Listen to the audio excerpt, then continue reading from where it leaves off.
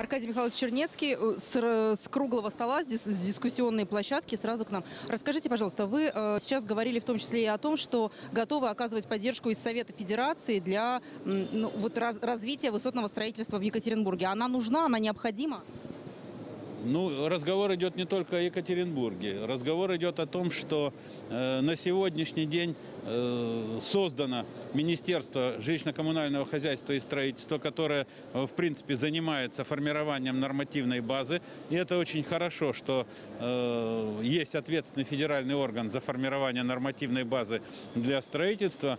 Но э, нужно понимать, что перед этим органом стоят очень э, большие трудные задачи, в том числе и по э, обеспечению выполнения программы «Жилье для российской семьи», э, строительство жилья экономического класса. То есть э, объем работы очень большой, и я очень сомневаюсь, что сегодня это министерство найдет время и возможность для того, чтобы заниматься достаточно экзотической, на мой взгляд, проблемой. Это регламентация и нормативной поддержкой высотного строительства. Строительство небоскребов, домов свыше 75 или 100 метров. Это э, вопрос, который нужно инициировать. И в этом смысле э, Екатеринбург, уже имеющий э, неплохой опыт строительства высотных домов, может стать локомотивом. Очень правильно сказал один из заказчиков, что если в других городах стоит вопрос, э, на- на- найдите строителя, который мог бы построить 25-этажный дом, то в Екатеринбурге э, нет строителя, который не может построить 25-этажный дом. Почему так получилось? Вот как сложилась такая... э, Сначала с одним вопросом закончим, а потом на второй будем отвечать.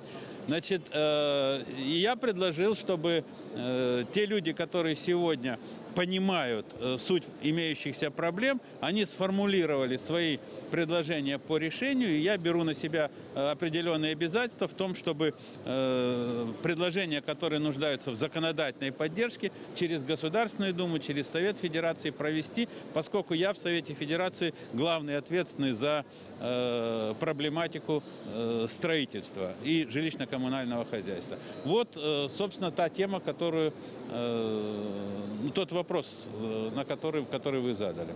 Почему так сложилось?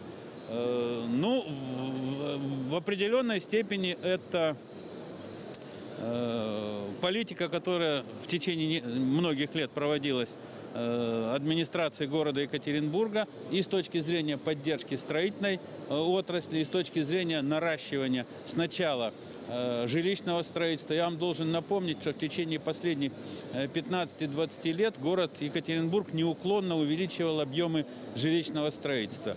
Решать эту проблему, не развивая высотного строительства, было чрезвычайно сложно, хотя бы потому, что никаких дополнительных денег для того, чтобы осваивать новые э, территории, в большом количестве осваивать новые дополнительные территории, ни в бюджете города, ни в бюджете э, области, ни в бюджетах соответствующих строительных организаций не было. Поэтому мы старались использовать все возможные способы, в том числе и э, активно развивая жилищное строительство. Я должен сказать э, несколько э, добрых слов в адрес екатеринбургского строительного бизнеса, который, во-первых, оказался э, с точки зрения э, подготовленности, с точки зрения восприятия э, новаций в этой сфере, с точки зрения э, желания э, выходить за рамки уже освоенного. Он оказался очень мобильный, и ему это было интересно. Э, В какой-то момент ему это стало и финансово выгодно, и в этом смысле взаимодействие администрации и строительного бизнеса э, развивалось чрезвычайно э, активно. Э, Собственно, поэтому на сегодняшний день Екатеринбург является несомненным лидером и с точки зрения э, количественного э, строительства. Э, Те объемы, которые э, выдает сегодня Екатеринбург э, по жилищному строительству, по э, нежило, нежилищному, то есть э, промышленному э, строительству, а, они э, значительно выше, иногда даже в разы э, больше, чем то, что имеют другие э, российские города. Но и с точки зрения качества строительства, качества тех объектов, которые способны э, возводить наши строительства, это тоже весьма неординарные объекты. Но мы с вами видим башни Высоцкий, мы с вами видим, как строится башня и сеть, мы с вами видим десятки э, домов высотностью более 25 э, этажей. То есть сегодня, э, за исключением Москвы и Московской области, э, которые также достаточно активно занимаются высотным строительством, другого региона, где эта проблема решалась бы столь масштабно, нет.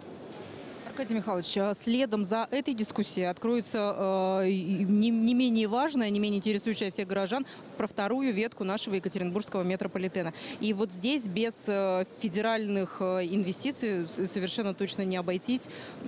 Ну, вы знаете, что и со стороны администрации области, и губернатора, и со стороны городской администрации этот вопрос постоянно поднимается. Значит, я пока, честно говоря, не готов сказать, что э, федерация решает этот вопрос положительно, тем более, что э, нет оснований э, рассчитывать, что будут какие-то эксклюзивные программы для отдельных городов.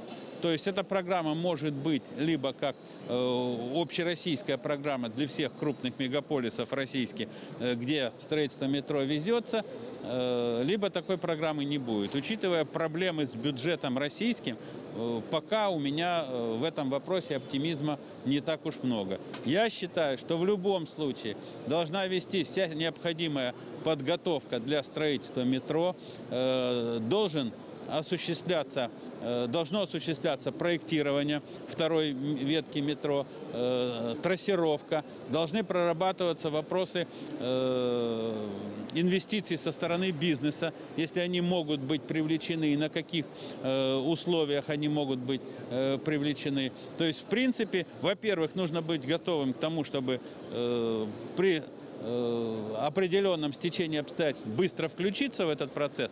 А во-вторых, если все будет готово, и мы найдем э, удачные схемы взаимодействия с бизнесом, чтобы э, можно было заниматься строительством второй ветки метро без участия федерального бюджета. Пока, к сожалению, оптимизма в том, что федеральный бюджет будет э, помогать строительству метро, нет. Несмотря на то, что э, в том числе и Совет Федерации неоднократно ставил вопрос перед правительством э, о необходимости изыскания э, определенных средств для того, чтобы эту программу в российских городах поддержать.